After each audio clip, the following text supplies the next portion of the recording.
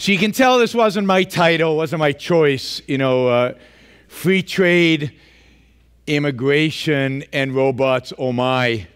I mean, if it had been my title, it would have been free trade, immigration, and robots, oy vey.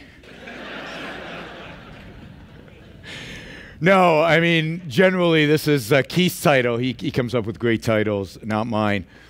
Uh, I, you know, my, my title is always boring, like morality of capitalism. That's, that's the best I can do.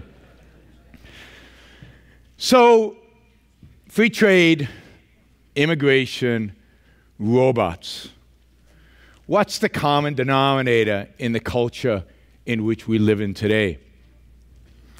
All three, over the last year, two years, I have noticed are perceived as threats. Threats to people's jobs, threats to the American way of life. All three are perceived as destroyers of jobs. American jobs, our jobs, are being attacked by immigrants, by trade, by robots. So let's go over all three, right? I mean, it's kind of obvious that these are real threats. There's a certain number of jobs in the economy, and people are coming across the border, legally or illegally, for manual, very simple jobs or some very sophisticated jobs in Silicon Valley. And for every person who comes across and gets a job, obviously they're underpricing an American who already has the job and they're taking the job from him. The world, there are only so many jobs in the world after all. I mean, you laugh, but this is, this is the argument. There are only so many jobs in the world. And every time we let somebody in, somebody is going to lose their job. Or, a more sophisticated interpretation of this, and you hear this a lot, they're going to compete with this American, and therefore, and since they're coming from a foreign country, and since they're probably coming from a poorer country, they're willing, in order to come to the United States to work for less, they're going to drive wages down. So, immigration is both a job destroyer and a cause for the lowering of our standard of living, the lowering of our American wages. And we can laugh at this, but there's an element of truth here, and we'll get to that, right? This is not a completely nutty idea. Not a completely nutty idea. So that's immigration. It's kind of simple, very perceptual, very obvious. We can see what's going on. Trade is very similar. Look, if somebody can do the job in China for less money than you can, Maybe they're less productive, but they're a lot cheaper. And if companies figure out that the transportation costs, as we know in container ships today, the transportation costs are close to zero. It's amazing the revolution in transportation that has happened over the last 20, 30 years with these massive container ships. You can transport stuff from China to the United States at a very low cost. And if they're willing to do it cheaper, then they're taking our jobs. And for every job created in China, and God, there are 1.4 billion people over there, we lose a job in manufacturing or in, you know, in, in computers, in programming. I mean, there are millions of programmers in China. And most Silicon Valley companies have vast facilities in China with programmers and engineers. And every job they have, obviously, we lose. And again, yeah, I mean, we can laugh at that and yeah, we can understand the bigger picture, but there's a certain truth there. There's a certain element of reality. There's competition. There's 1.4 billion Chinese that have woken up and they want a life and they want a job and they want to increase their standard of living. And some people argue and some people try to convince us, and many Americans now believe that it's at their expense. And again, a kind of a zero sum mentality. But there's a certain truth there. And of course, robots, God, right? I mean, think about it. We're just at the cusp of a revolution. And already, 90% of all the manufacturing jobs in the United States that, you know, we, we have about half the manufacturing jobs we had at our peak in 1979. Most of those jobs, 90% of those jobs that went away, went away because of technology, because of robots. Primitive robots, simple robots, unsophisticated robots. Just imagine when they get smart. And not just smart, but mobile. I mean, one of the biggest problems with robots, when you read about this, is, is to get them to move. It turns out that our ability to move the way we move, the ability of animals to move, is an incredibly sophisticated problem to solve. But, you know, we're getting better at it. And robots one day will be able to move, if not as well as us, close, close enough to take our jobs and all kind of jobs. And there's no end now to the kind of jobs that potentially could be taken. Right? Anywhere from manufacturing jobs, simple jobs, where you're stamping the same thing over and over again, and that's kind of being taken away, to far more sophisticated jobs. And not just manual labor jobs. You know, we did, uh, you heard from Boaz, I think, uh, uh, about this event we do in Israel, uh, the best startup in Israel, Atlas Shrugged Award for best startup in Israel. And this year, the winner of that award was a, a company called Zebra Medical Imaging Technologies, or something like that, right? And what does this company do? Well, they've got an AI, an artificial intelligence machine learning system that basically analyzes mammograms and is far better than any radiologist in identifying breast cancer. Radiologists out there, and I know there are a bunch of you here, they're going to take your jobs. They're going to take your jobs. And again, we're under threat. And what we've seen over the last year or two is all of this kind of bubbling up. And this is not a right wing thing and this is not a left wing thing because you see it across the board. You see it in the anti immigration debate, you see it in the anti trade debate, a debate I never thought we'd actually have, but we are having, it turns out. And you're seeing it in the, in the panic about robots. And it's panic. You're seeing it even in Silicon Valley. You're seeing it on the left and right in immigration, across the entire political spectrum. People are coming to take our jobs. Robots are coming to take our jobs. And what should we do? Well, we should be afraid. And we should build walls. And we should restrict trade. And we haven't quite reached the point where we should start restricting technology, but I'm just waiting for a politician to suggest that. And you know what? I think a bunch of people would vote for that. Now, this is America. This is not the attitude that one would expect in America. You know, we're in Pittsburgh, one of the great cities of the Industrial Revolution in America. A city that saw its population grow tenfold in 60 years. Why? Because tons of immigrants came into Pittsburgh and stole jobs. It's a, it's a city that saw its population grow tenfold. Why?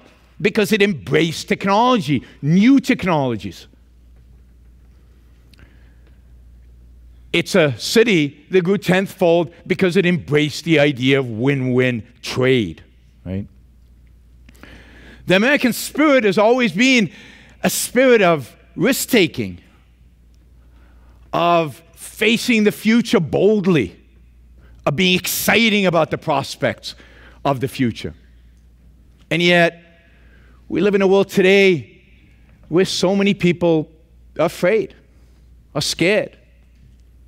And where our politicians encourage that, where intellectuals encourage that. They encourage fear, skepticism, pessimism, helplessness with regard to the future. And something new, well, something not new, but something that I think is solidifying more and more in the America we live in today. This notion of collectivism, our jobs, American jobs. What is that? I mean, I have a job. I hope you guys have a job. But they're no our jobs. They're no American jobs. But for decades now, Americans be taught in our schools, at our universities, by our politicians, and by our welfare state that continues to reinforce the message. You can't take care of yourself. You need help. You're not alone. You're not, the individual doesn't count. What counts is the group, and the group is there to help you and assist you and provide for you. Don't worry. Don't say for retirement. Don't say for retirement, please, because we've got it taken care of. Don't think long term. We've got it taken care of. Don't think about health care because we're going to take care of it. Haven't quite got there, but we're going to. Right? Don't think for yourself. Don't plan for yourself. We, the government, the intellectuals, the people in power, are going to take care of you. And at some point, that just continues, that continuous reinforcement, that continuous build up has ground that American spirit down.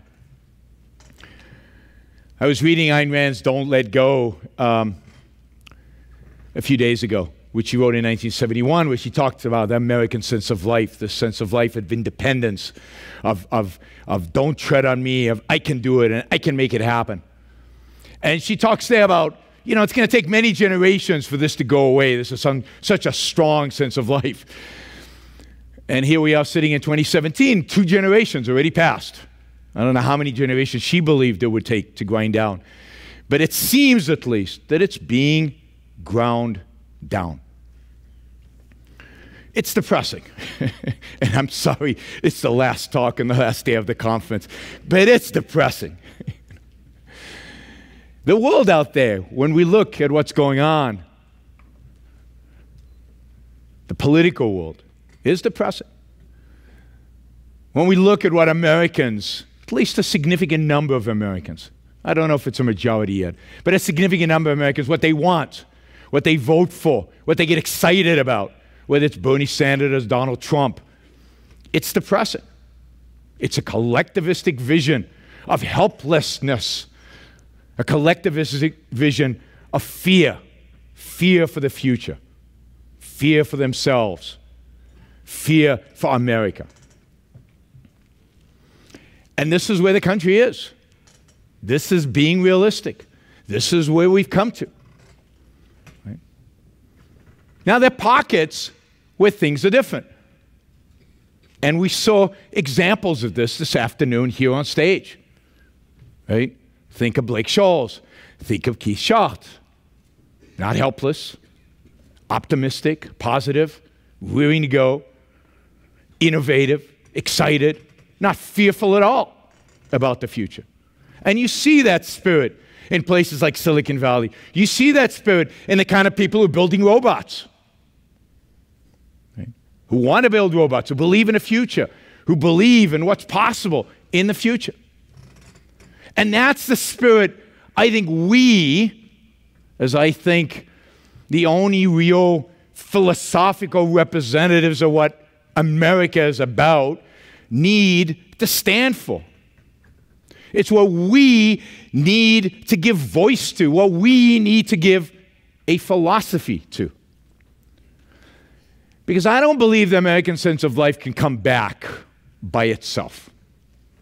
I don't believe the American sense of life can be brought back by conservatives or liberals or anybody in the middle.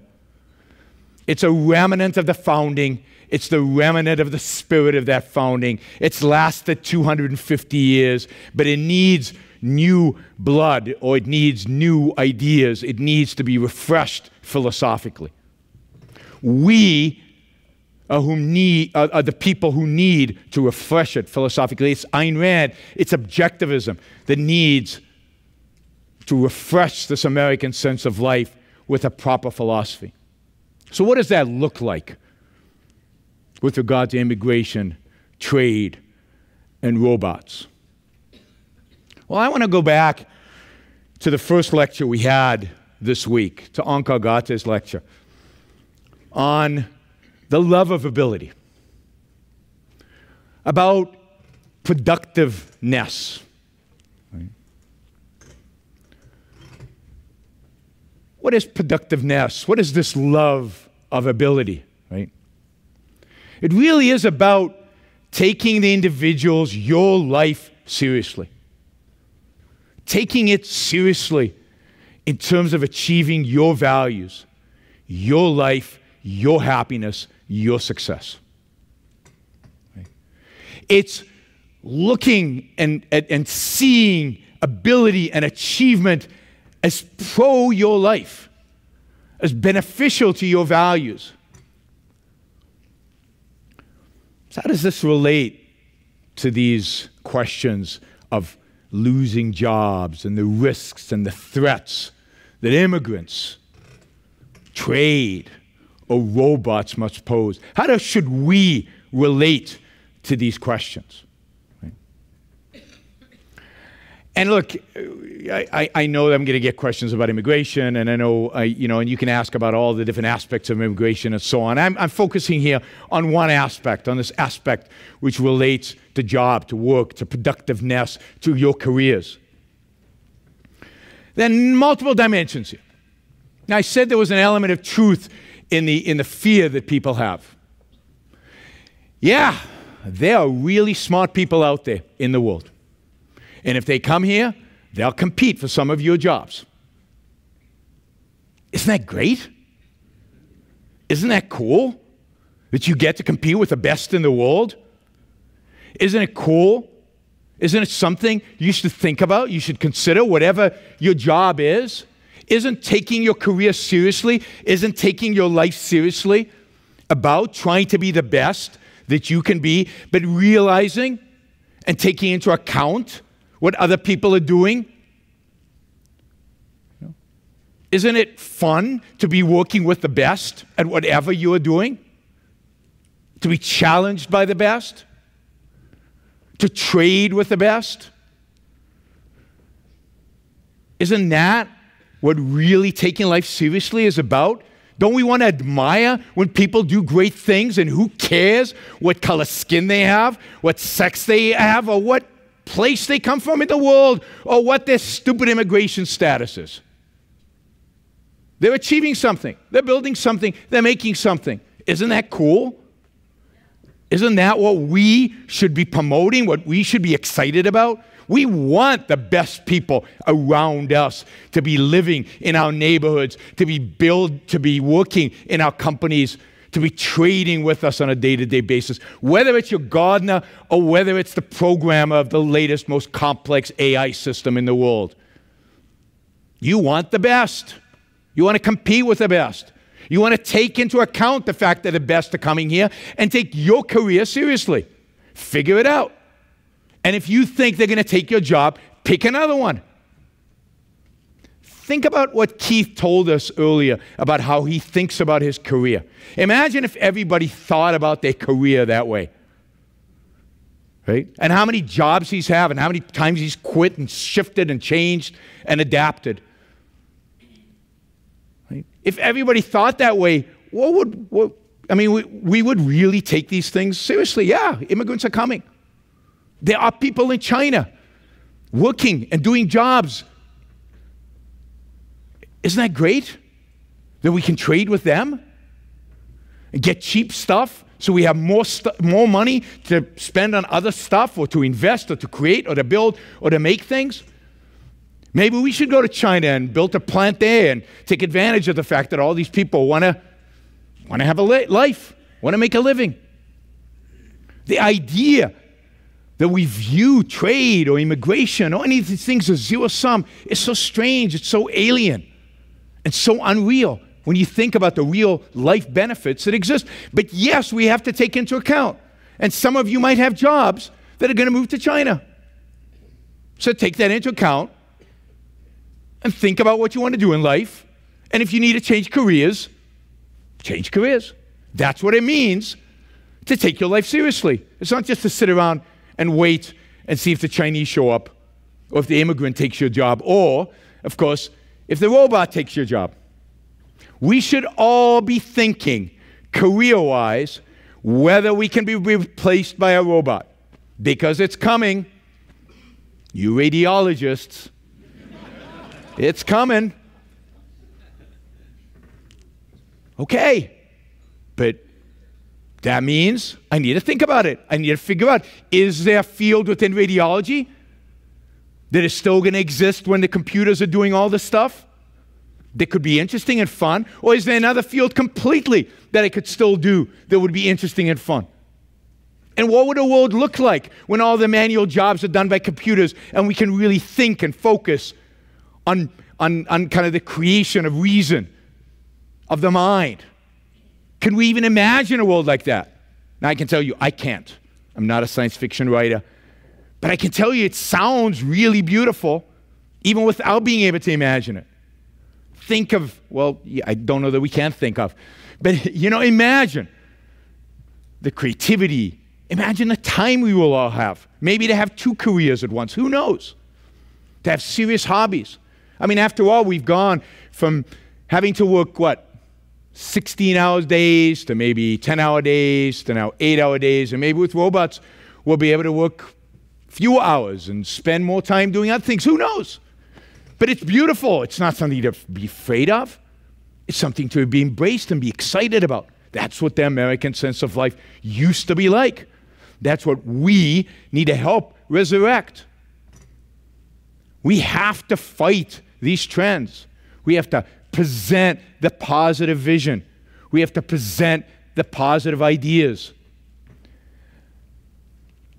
So, if you take Ayn Rand's ethics seriously, and in my view, Ayn Rand's ethics is the only thing that can help resurrect that American sense of life then all these things immigrants, trade, robots must be embraced, must be celebrated.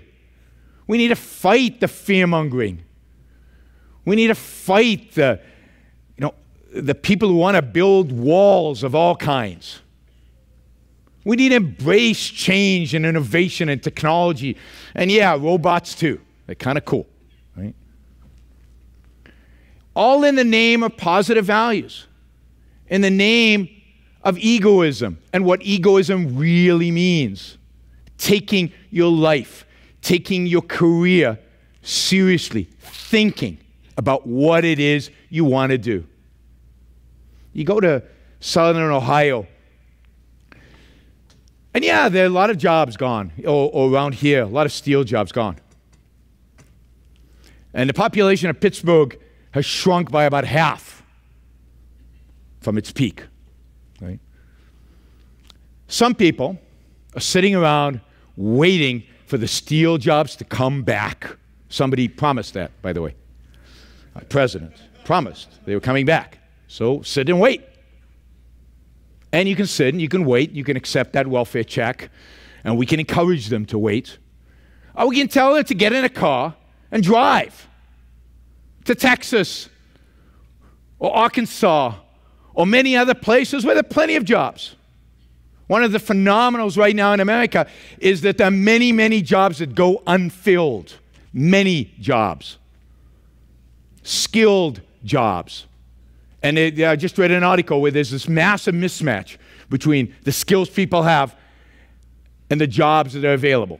So, what's the solution to that? Get trained.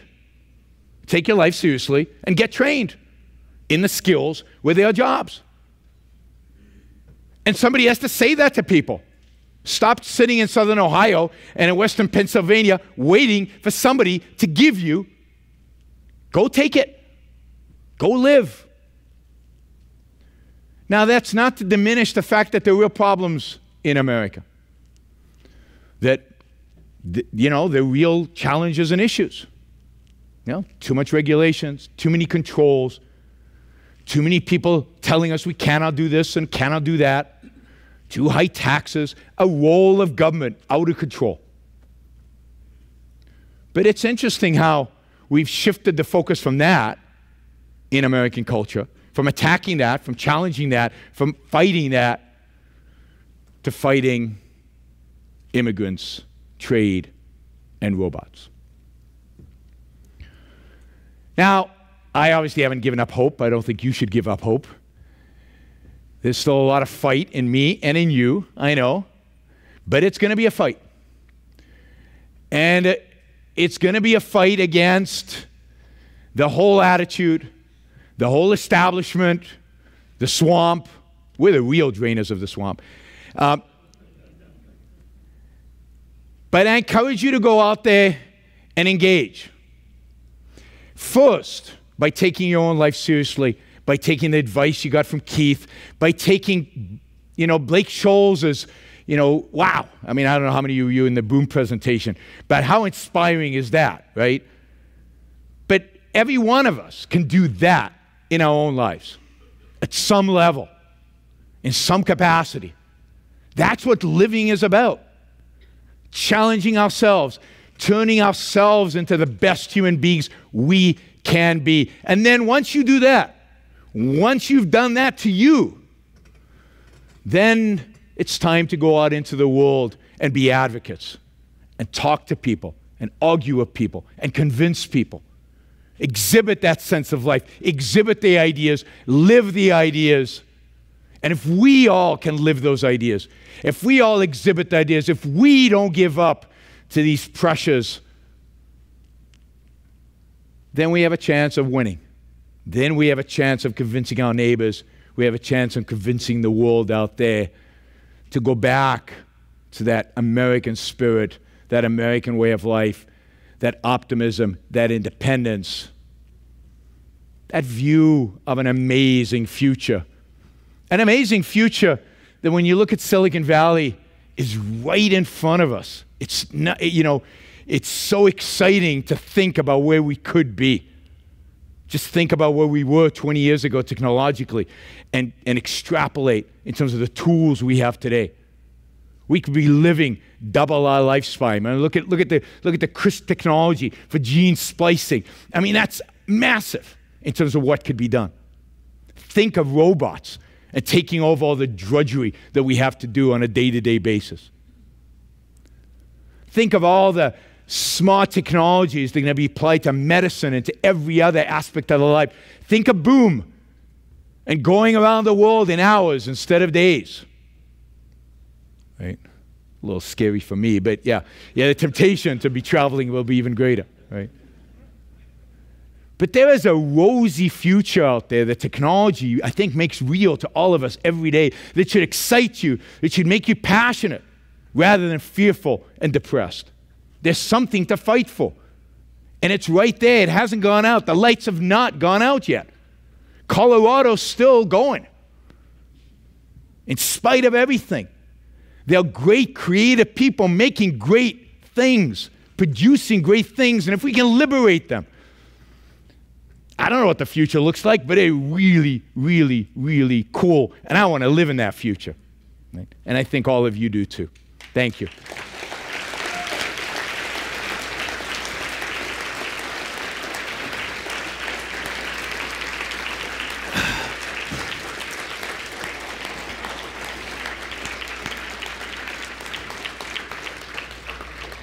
Say thank you to uh, you, Dr. Brook, and thank you to everyone at ARI, all the speakers, staff, everyone involved for just doing so much good work for us. Thank you so much.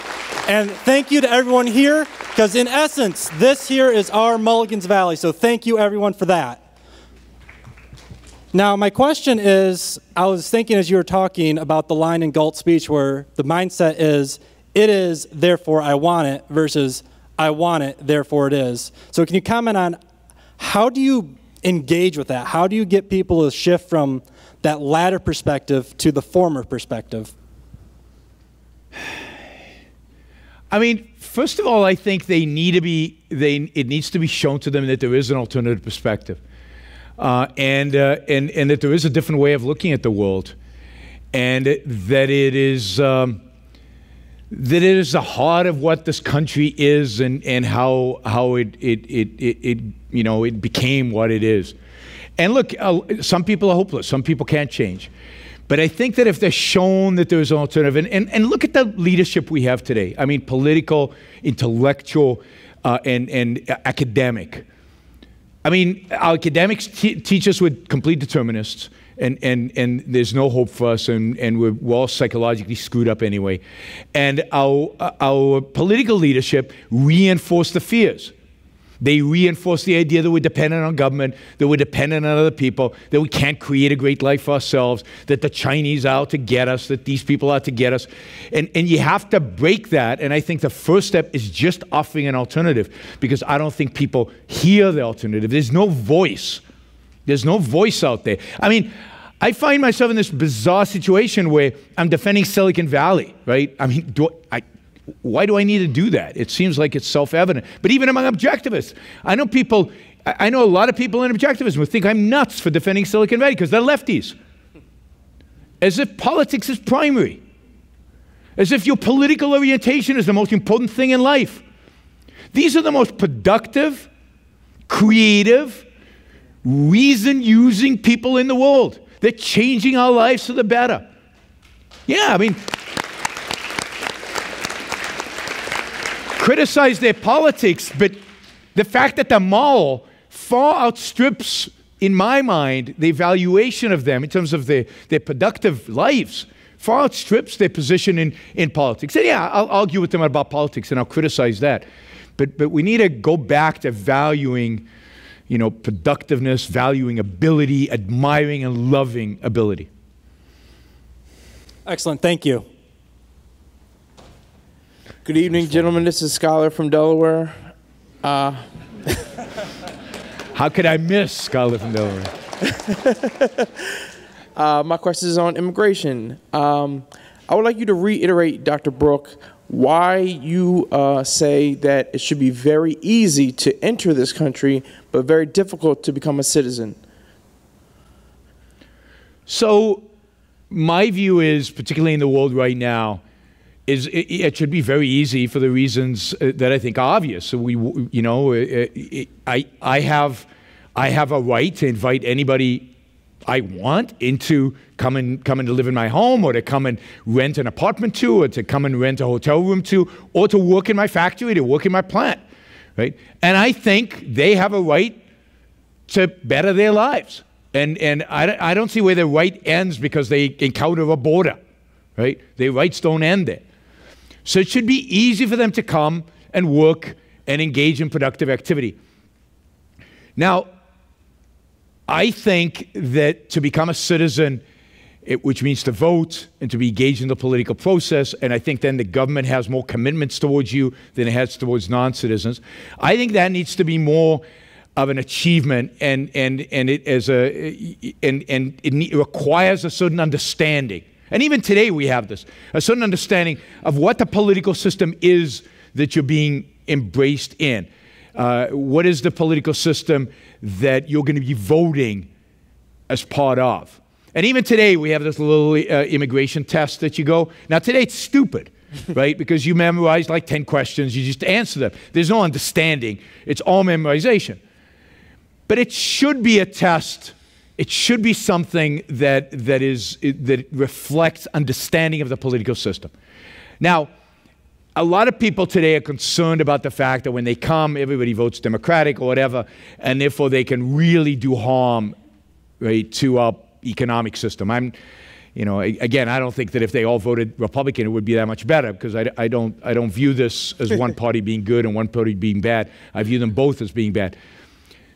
But okay, so I'll grant you that, let's say. And, and by granting that, I'd say, okay, so let's even say they can come in and work and they can't vote, and only the second generation could vote. I mean, voting is not that important, is my view. So don't make them citizens. But I, I, I prefer to see that flow of immigrants into the country and, and, and have them not vote than, than restrict their immigration in. would you say, I think you agree with this, but I think uh, if you're worried about citizenship and there are issues to be worried about it, not really an issue about immigration. It is, should there be criteria for citizenship, including Um, so does it, if you're born in this country, does that make you a citizen? Can you pass this test that Yaron's talking about? So the, the more fundamental issue is, and it is a real issue in political thought, I think, what should be the criteria for citizenship? It's not an immigration issue, and it's not obvious because you just, you just happen to be born in this country that you're a citizen.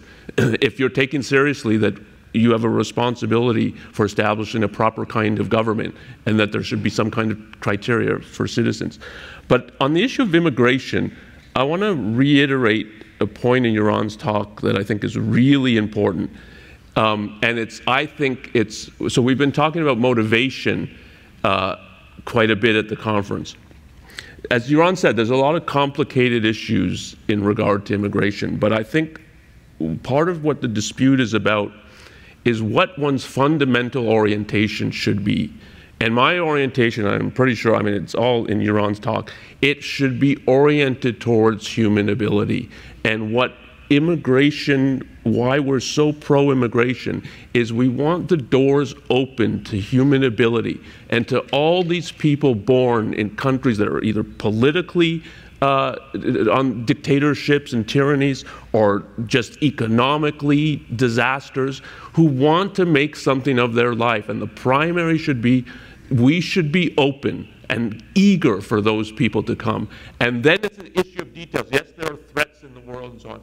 Versus what is primary is the threats and the fear, and we're worried about all these things. And yes, there's an issue of human ability and so on. And yes, well, Ayn Rand wouldn't have been able to do what she did if she wasn't able to.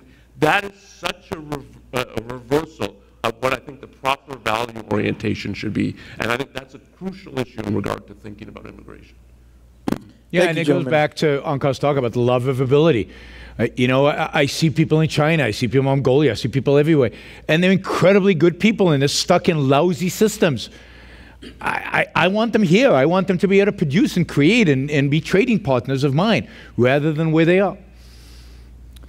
Thanks, Yaron, for the invigorating talk. Um, I just wanted to ask, how do you think the um, opposition or resistance to, you know, artificial intelligence and robots, uh, sort of, you know, taking our jobs um, in the future will differ from the left versus the right? I feel like the right is more nationalistic, protectionist, like let's keep our manufacturing jobs, let's keep people working, whereas the left might be more swayed to like a universal basic income or some sort. Yeah, I mean, my view is there's not a lot of difference between the left and the right. Uh, I mean, at the, at the, at the extremes, there's a there's a a, different orientation, but there's not a big difference between them. Um, I mean, I mean, remember, eh, people think the right is against immigration, but that's nonsense. I mean, if you look at Bush's 2007 plan to, uh, to have comprehensive immigration reform, which is not a bad plan at the time. It was the left that opposed it because it was the unions that opposed it because the unions don't want immigrants. Bernie Sanders, in a moment of truth, when, when asked by, I think it was Ezra Klein, ab- about uh, his, uh, he wanted, uh, he, uh, Klein assumed that he wanted open borders. And Bernie Sanders said, no, absolutely not. That's a Koch brothers. They want that. No, he said, he said, I, I, I don't believe in open borders. I mean, wages would go down and we'd lose lots of American jobs. And I don't want that. I'm anti-immigration. And he had to change that a little bit as the, as the campaign went on. But that's his true feelings. So I think I think the left and the right share a, a, a partic- that perspective on immigration. I think they share it with regard to trade. I mean, fair trade, which which uh, uh, Trump has picked on, and a lot of people in the Republican Party have picked on, is a leftist idea from long ago. The idea of fair trade, and now it's on the right. And I think you're seeing the robot stuff primarily on, on kind of the left, but I think it's quickly going to migrate also to, to what we perceive as of the right today. And I, I think there's, that is going to be, I, I view the world as collectivism versus individualism, versus right versus left. And I mean, Onkar's really taught me this, but, but, but looking at it that way, and you see that almost everybody's a collectivist. Yeah, and right from a the left are just collectivistic perspective, shades. our jobs are under threat by all these things. Now, universal uh, basic income is again a complicated issue, which we can. I did a whole show on it, and I- have um, a, a teeny bit of sympathy towards it, only because it would get rid of all the bureaucracy of the welfare state, which is kind of kind of uh, enticing. But it also is uh, is sanctioning the whole idea of welfare and redistribution of wealth. And, and to view that as the solution to robots is such an upside down. Think how wealthy we will be when the robots take over. That you won't need basic income because every job will be, you know, we'll all be making lots of money. Thank you. The universal, I mean, the universal basic income has been picked up by both the left and the Yeah. right. as Yeah, well. Charles Murray is promoting that on the right, and you've got the left promoting it as well. Do you think that politics is the area that we should focus on uh, to get objectivist ideas into the culture, or do, are there other areas that would be more effective? I don't think there's one area to focus on. Um, objectivism is a philosophy. It has a worldview. It has a tremendous amount to say on all kinds of different subjects.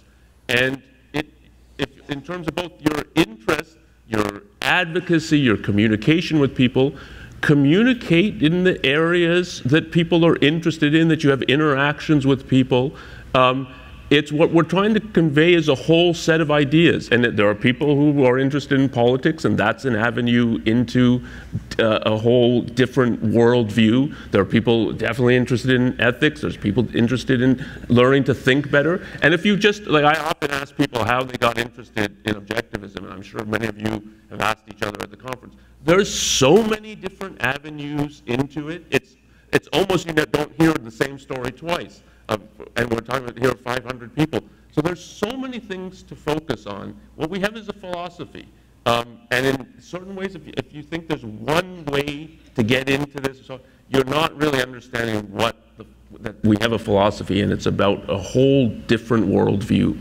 Um, and that, that's what we're trying to convey and communicate.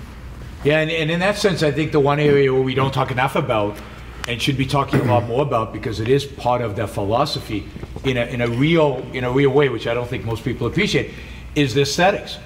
You know, we almost never talk about aesthetics. We don't really deal much with the Romantic Manifesto. But, but if it is a philosophy, that is a big avenue, and it, and it could be a very powerful way into the culture. So I agree with Onkar. It's everything. Um, you know, but, but what I said before was, you know, too many people judge other people only based on one of those, right? They have a bad politics, therefore we, we, that wipes everything out. We take politics too seriously in that sense.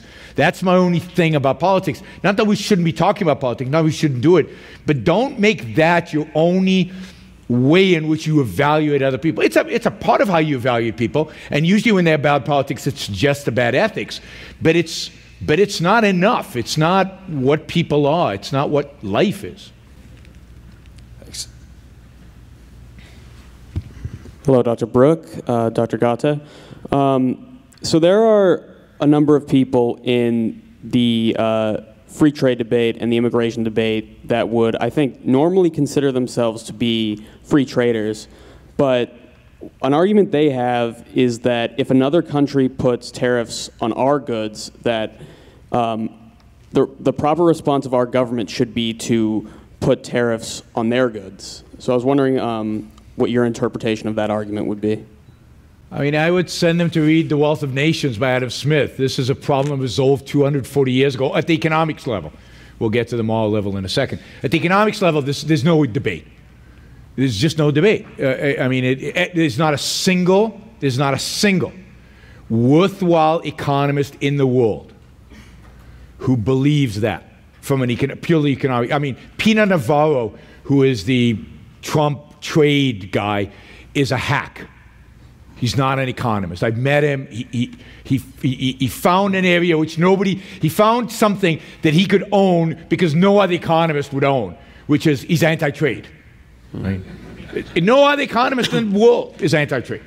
Now, Paul Krugman, another hack, won his Nobel Prize for an essay on free trade. So even Paul Krugman gets it, right? So on an economic level, it just doesn't work out. And I'm not going to give you the whole economic argument here, but it just doesn't make any sense.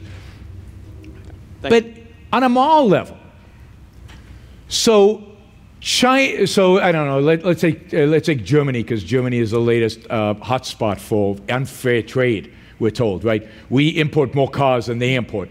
You know, maybe it's because they make BMWs, Audis, and and uh, and Mercedes Benzes, um, and that's a problem according to President Trump.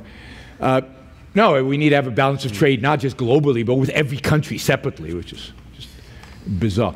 But I mean, if Germany raises tariffs and penalizes its citizens by raising their taxes, our response should be to penalize our citizens by raising our taxes. I mean, how can that? So Germany is initiating force on their citizens, and our response should be to initiate force on our citizens.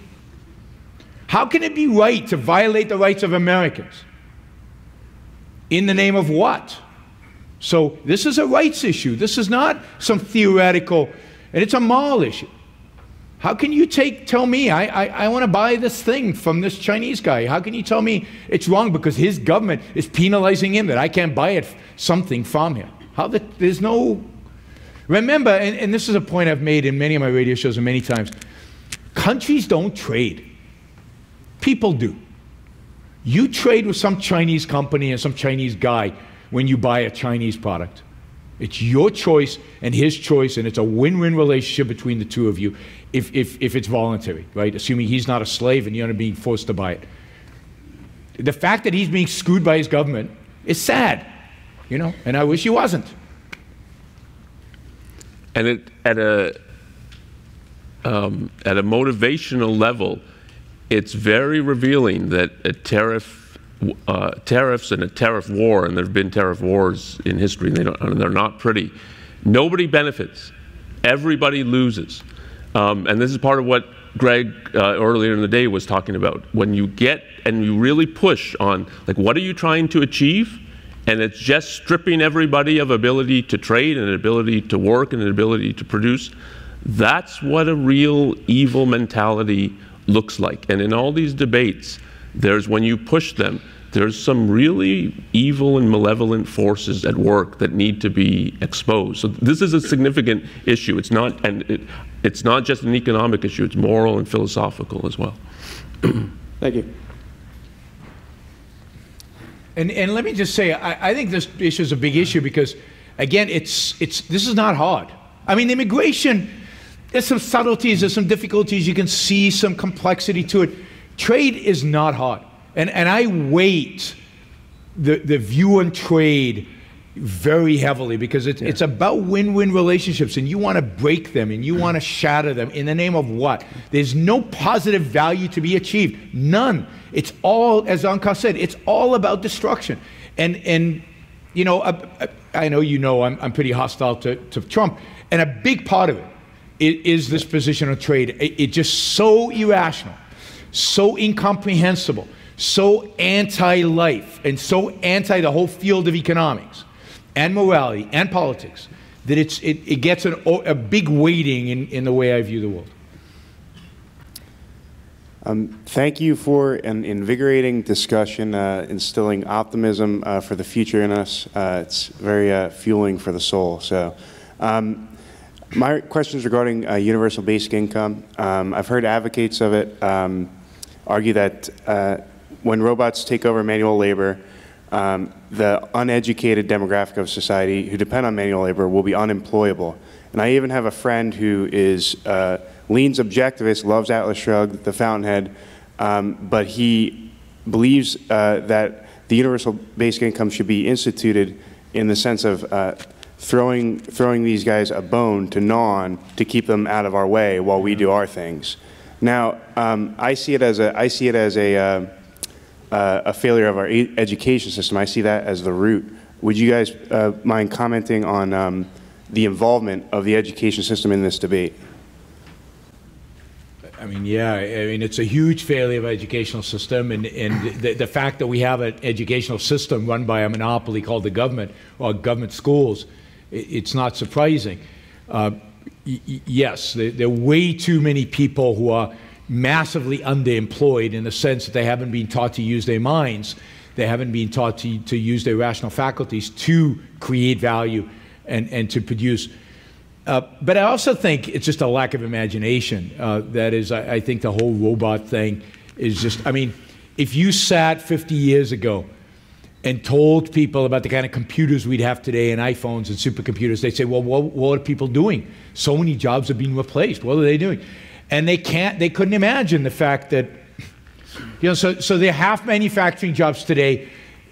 Less than 1% of Americans today work in agriculture versus 100 and something years ago was something like 80% of the population. What do they do? The manual people, the people who didn't get an education, what do they do? Well, I mean, they there are more restaurants today than in all of human. You know, it's just unbelievable the number of restaurants, and not just any restaurant, fancy restaurants, middle restaurants, fast food restaurants, whole gamut of restaurants. Every strip mall has a massage parlor, and I mean legitimate ones. You know, every every. I mean, I mean, we, we're so rich, we can take an hour off and get a massage. Nail salons. I mean, I don't get nail salons. They're everywhere. Like in Orange County, like every strip mall has a nail salon. I mean, how many nails are there in the? wo- I mean,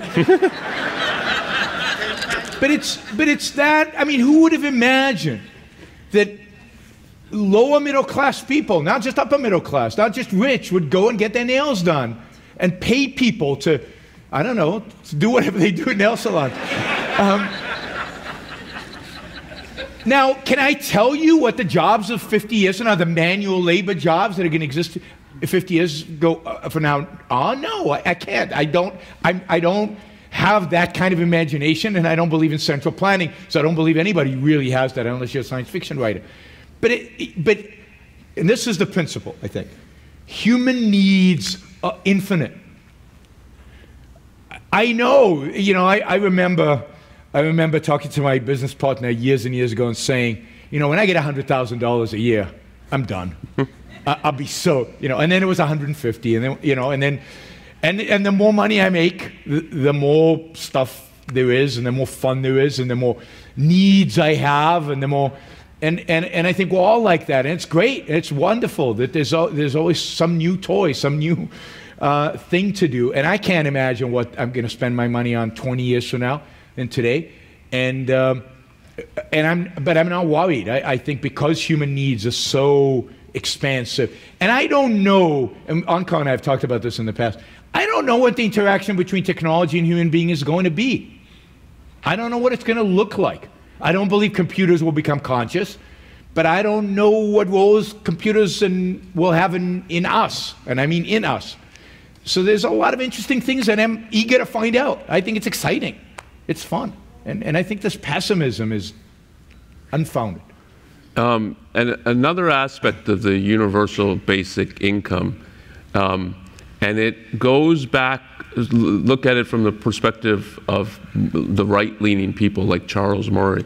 I think there's a real element of the conservative mentality. Now, Charles Murray calls himself a libertarian, but if you read some of his work, there's a conservative bent to it, I think.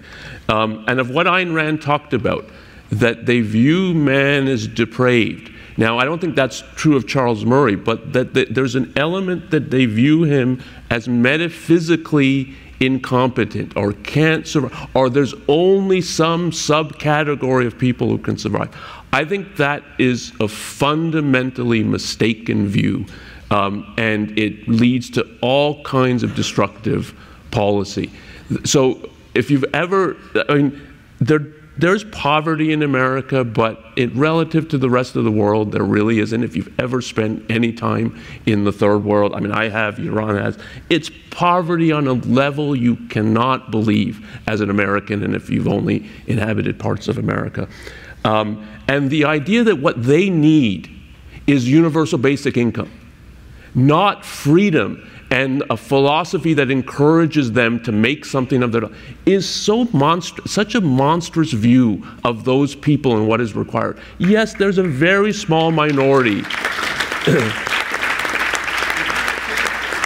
There's a very small minority who cannot take care of themselves, but most people can if given the chance, the freedom, and a, an orientation to you can do this, which is, as, I, as Yaron was talking, is the, was the American spirit. And the universal basic income is, has given up on that in a, in a in terms of human nature. And, and it's not most, it's 99.9%, right? I mean, it's, it's, it's, it's almost everybody. I mean, I know, I- you know, and you see this, people with Down syndrome who, who, who have jobs, right, who can do something. Mm-hmm. So it, there's almost no human beings on the planet who can do something productive. And if you do something productive in a rich society which has robots, you're going to be, because of the investment in capital, you're going to be compensated so much more right? So manual labor in America results in poor by American standards. Manual labor in China, you're barely surviving because of how rich American society is. So there's no one of the you know there's no problem of poverty when you get you know real wealth when you get the kind of society that we potentially can be. Thank you. Another robotics uh, question. I work for a manufacturing company, and we just started automat- automating using robots uh, manufacturing in China for the last year. And the um, senior management defends the economic and financial benefits of automation. But when you ask them, you know, what about that poor laborer who's not going to have a job? Their answer is, well, it's uh, safer, right? Because now you don't have to have some person sitting there inhaling paint fumes all day. You have a robot doing that. Um, I feel like they need a better defense, and is ARI going to be uh, doing anything to help um, defend robotics in the future? Yeah, I mean, we're talking about it. I think we're going to talk a lot more about it, and it's going to become a big issue. And look, the, the safety issue is real. I mean, it, and I think that's one of the great value of robots. Is and this is about manual labor. Manual labor sucks, right? And you, you, as you get rid of that kind of manual labor and the dangerous manual labor with robots, if coal mines, you just send robots into the coal mine. I mean, that's that's great. That's a good thing. That enhances human uh, uh, human flourishing. It, it, it allows the people who used to go into the coal mine now to look for better, safer, more fulfilling careers. And, and I think that's at the end, at the core, the moral question that, that people are going to have the opportunity now to, to, to find more flourishing, more fulfilling careers for themselves if they take it seriously, if they take their life seriously, if they take advantage of the opportunities.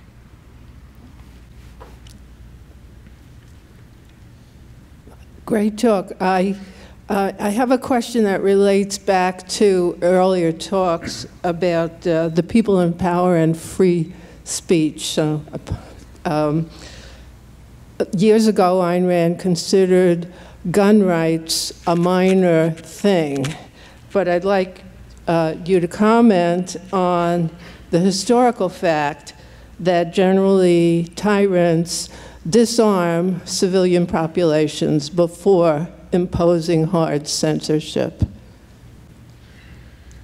Uh, you know, gun rights. Um, I always get in trouble with this one, even more than immigration, it turns out.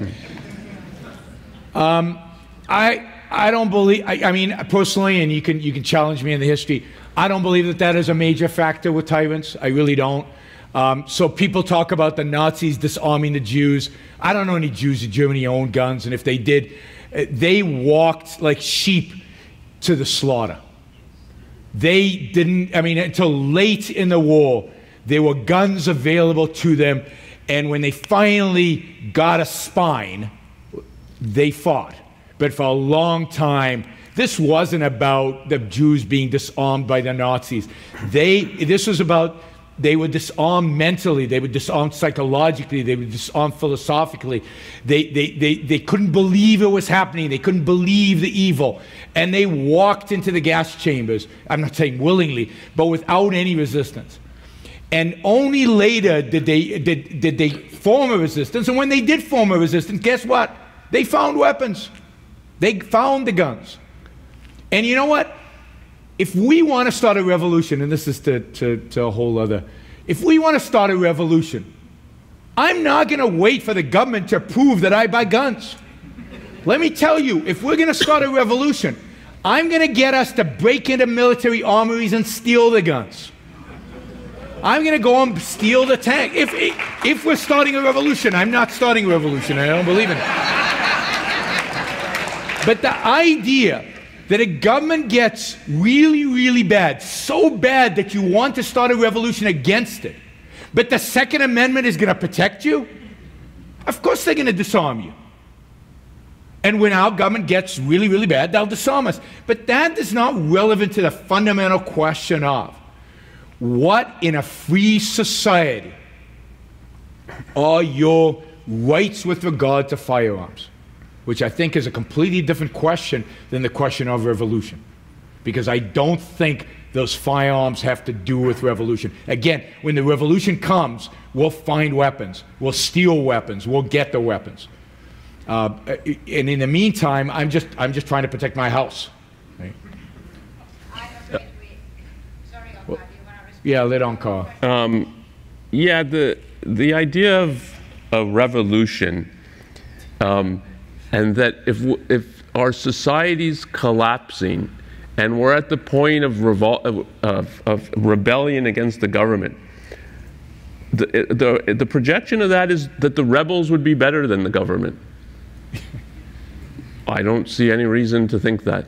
If anything, they will be worse. And if you think of what is happening, whether it's with the alt right or it's with college kids and so on, and the idea is, oh, yeah, if only they had more guns, that would be great. I mean, it, it so it's, it's a different thing to say, well, would you arm dissidents in Soviet Russia? than of a, of a free country that is on collapsing. It's so much more important to arm people with the right ideas than that, oh, what we need is guns. And if we collapse, it's because we fail at that. And this is why the issue of free speech is 10,000 times more important than the Second Amendment. Absolutely.